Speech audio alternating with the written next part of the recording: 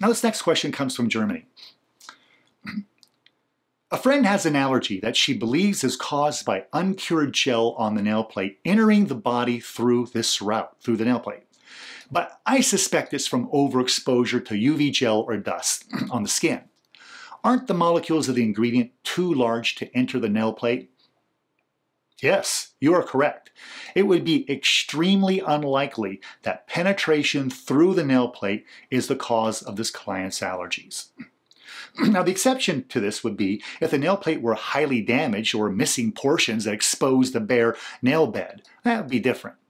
If a bare nail bed is exposed to the UV gel, the risk of developing an irritation or permanent skin allergy will increase significantly. UV gel should only be applied to intact nail plates. The skin has its own immune system that's separate from the internal immune system. This explains why direct skin contact is required to cause skin allergies.